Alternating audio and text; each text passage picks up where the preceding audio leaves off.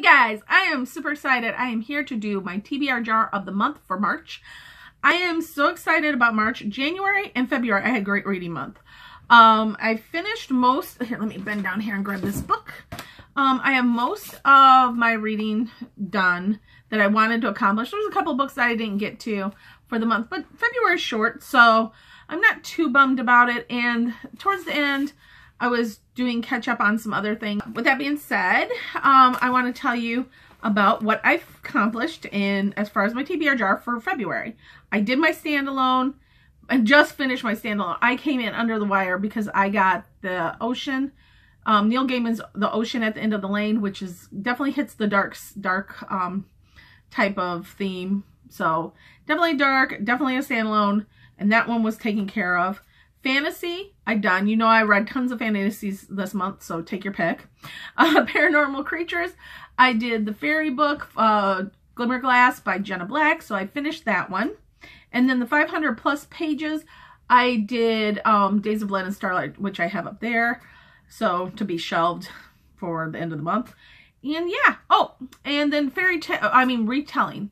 I was going to pick a fairy tale retelling, you know that, because for fairy for fairies this month, and that kind of fell at the wayside, but that's okay. I meant to read more fairies and I didn't, but I did do a retelling of sorts.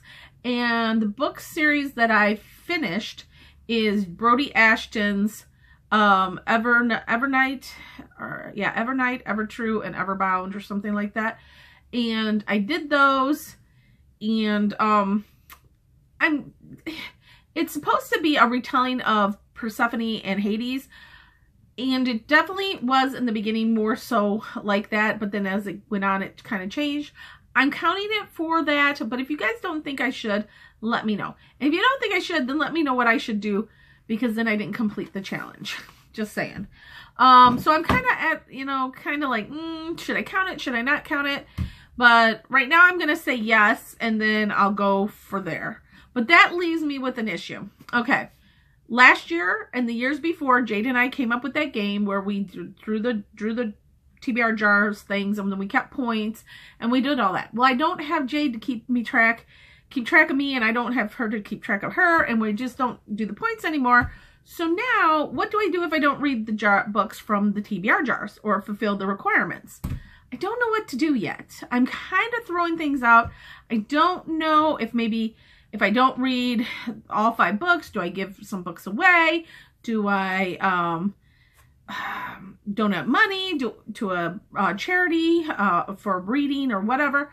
Or do I read more books that month? Let me know what your guys' thoughts and things are. I'm kind of like, you know, on the fence. Do I buy less books?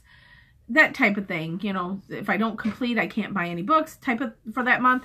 Let me know what you think because I am definitely kind of like wondering how do I keep myself on track and stuff if it's just myself going against myself type of thing. I'm not going to give myself points to go against me. it's just kind of dumb, I think. But unless you guys have a good strategy for it where I accumulate points and maybe reward myself or, you know, that type of thing. So let me know what you think. I'm curious. Um, I'm still kind of working it out, but I would love to know anybody's ideas because, hey, I could use some. Anyways, let's get on to the jar. And I've got my dice. And I rolled a two. Yay! I rolled a two, which, okay, the first book, oh, the first thing for the theme, oh, it's endings. Okay, I will lay that right there. So uh, now my theme is ending. So I have to read an ending, ooh, which could be bad. Oh, no, I got two. I rolled a two, so I'm good. I can pick out two. That'll work.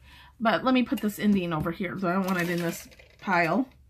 I've got fairy tale retelling. So, with that being said, huh, do I have any that I haven't already done?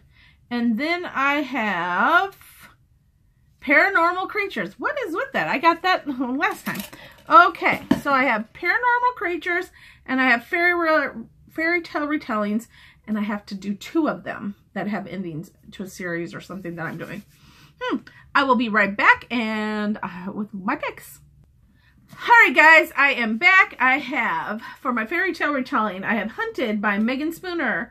This one is a Beauty, Be Beauty and the Beast retelling, and it's a standalone, so it works for endings because there's not going to be any more after this one. So I like that idea. I can get it all done in one fell swoop. And I've been wanting to read this book, and uh, as you guys know from when I ordered it, and it came in my book also, definitely my pick for March. So that's cool. And then I've got Ungodly by Kendare Blake, which I started it, but then realized I had to put it down because I was in the first chapter and realized I can't read this because I have so many other books that on my TBR to read for the month. So yes, this definitely has paranormal creatures in it, so it definitely qualifies for the paranormal creatures and I'm excited to be reading this. All right, guys, I'm going, that is what I've got. Let me, like I said, let me know be below. I've got a couple readathons I'm going to be taking place in, um, taking part in this month, um, Readorama, and I believe the reread, read, the re-readathon. So, re-readathon, yes. And I can't think of who the people are hosting it.